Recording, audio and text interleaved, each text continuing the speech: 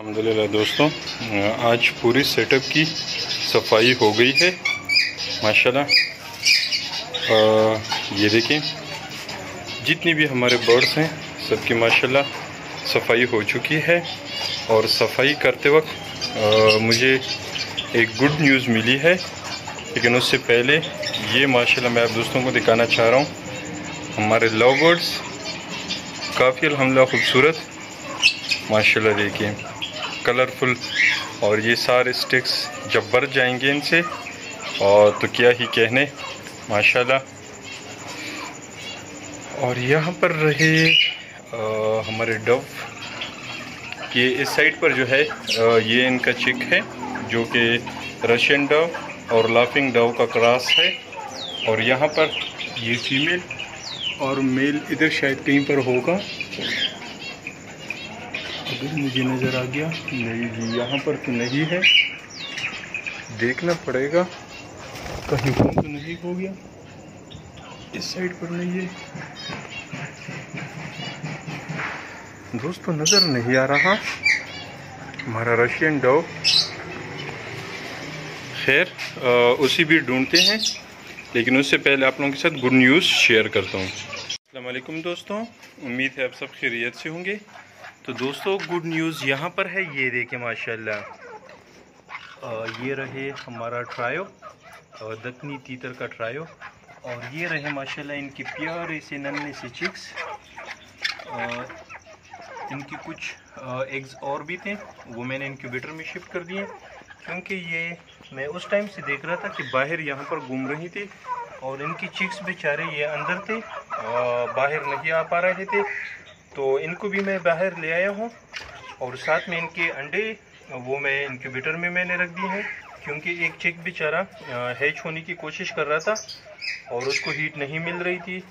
इनके पेरेंट्स यहाँ पर बाहर घूम रहे थे तो इस वजह से ये ज़रूरी था। वो सारे अंडे मैंने इनक्यूबेटर में शिफ्ट कर दिए। वो काफ़ी हद तक ठंडे भी हो चुके थे। लेकिन ये माशाल्लाह देखें, नन्हे से प्यारे से मेहमान अब दुआ यही है कि ये पल जाए टेम्परेचर भी इतना ठंडा भी नहीं है। रात के वक्त तो ठंडा हो जाता है, लेकिन अगर ये अपने ममा के फैदर्स में चुप जाया करेंगे तो इंशाल्लाह इनको कोई प्रॉब्लम नहीं होगी।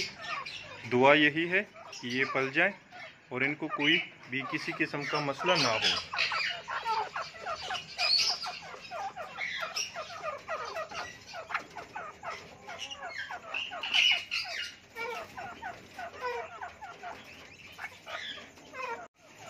और रशियन डव ये देखिए दोस्तों माशाल्लाह ये भी बाहर आ चुका है। आ, कहीं पर छुप गया था लेकिन ये देखिए माशाल्लाह काफ़ी खूबसूरत कलर्स में है।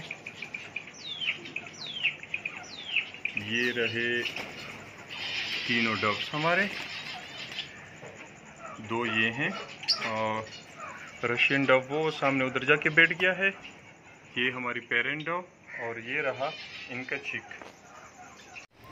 दोस्तों जब से हम ये नई फ़िशेस लाए थे, उस टाइम से लेके अब तक हमारे फ़िश एक्सपायर होते जा रहे हैं।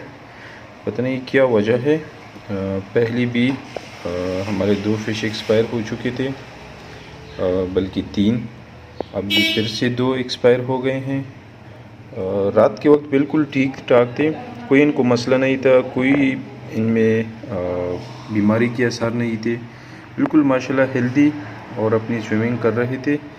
लेकिन अब ये देखें ये सुबह जब मैंने देखा तो ये दो एक्सपायर हो चुकी थी।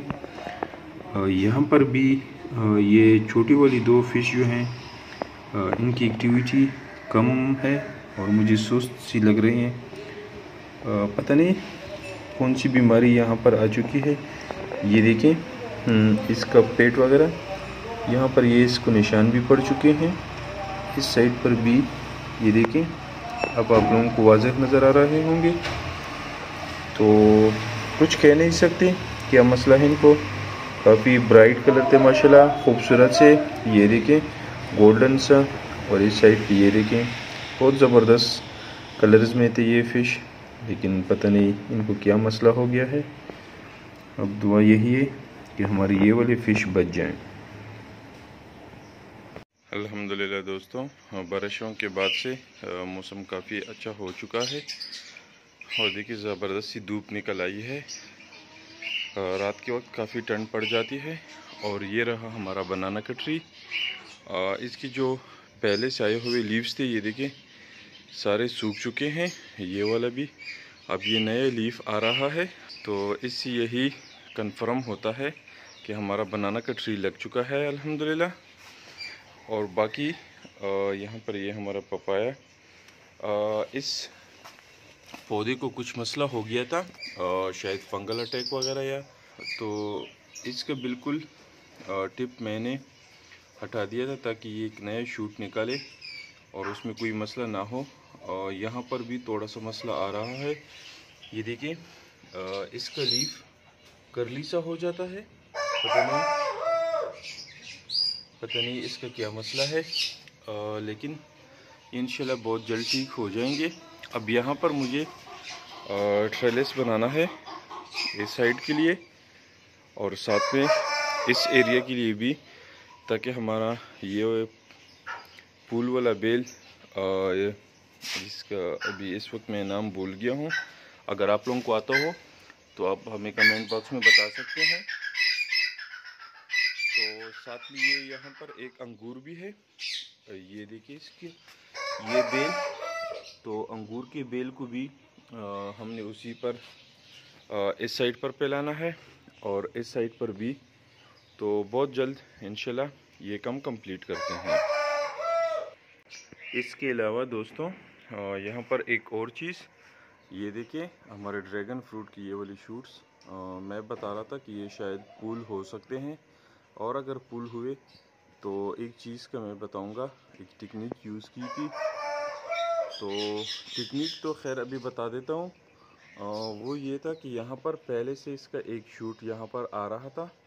तो उसको तोड़ के आ, कहा जाता है कि अगर आप वो तोड़ देंगे आ, इसके टिप को तो आपके पास फूल आना शुरू हो जाएँगे आपके प्लांट पे। आ, लेकिन इस किस्म का कोई सीन नहीं हुआ।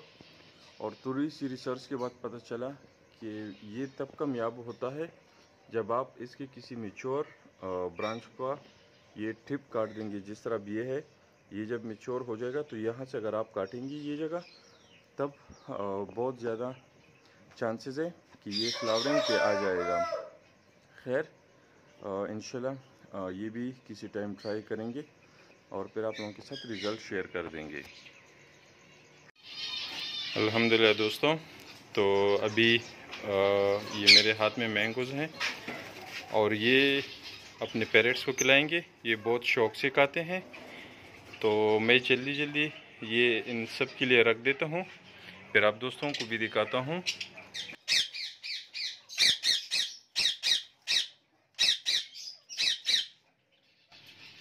अल्हम्दुलिल्लाह दोस्तों आपने देख लिए कि हमारे पेरेंट्स ये माशाल्लाह बहुत शौक से खाते हैं। लेकिन जो ही मैं इधर आया हूँ तो ये सामने जाली पे आके बैठ चुके हैं। माशाल्लाह एक ये सामने बॉक्स की स्टिक पर बैठा हुआ है। बाकी सब यहाँ पर हैं, ये माशाल्लाह आप देख सकते हैं। और वो देखिए, इन्होंने थोड़ा सा का लिया है। अब मैं यूँ ही यहाँ से उठूँगा तो ये इंशाल्लाह फिर काने लग जाएँगे। तो इनको डिस्टर्ब नहीं करते।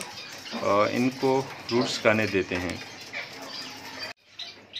अल्हम्दुलिल्लाह दोस्तों, मैं जो ही थोड़ा सा दूर आया हूँ। सामने आप देख सकते हैं, हमारे दो पाइनएप्पल कुनियोर वो खाने लग चुके हैं फिर से। और इनके अलावा, ये देखिए, यहाँ पर पार्टी चल रही है। मैं थोड़ा सा करीब गया हूँ कि ये सारे उड़ गए हैं। अभी भी एक दो फिंचेस हमारे लगे हुए हैं खाने पे। और शायद इनकी पार्टी ख़त्म हो चुकी है। वो दो हीरा अभी भी खा रहे हैं। मेल रूस्टर और इसने का लिया है। वो सामने देखिए तो इनकी पार्टी तो ख़त्म हो गई है। और वो सामने देखिए हमारे फिंचेस माशाल्लाह ये अभी भी मज़े से लगी हुई हैं। दोस्तों लास्ट वीडियो में दिखाया था कि यहाँ पर हमारे साथ काफ़ी रश था आ, अभी बेचारा सिर्फ़ ये एक ही फ़िश हमारा रह चुका है, बाकी सारे फ़िश एक्सपायर हो चुके हैं। ये अकेला एक ही है बेचारा।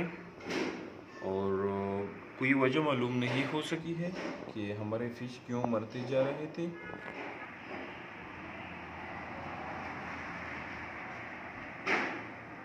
काफ़ी ज़्यादा इसने परेशान कर लिया था।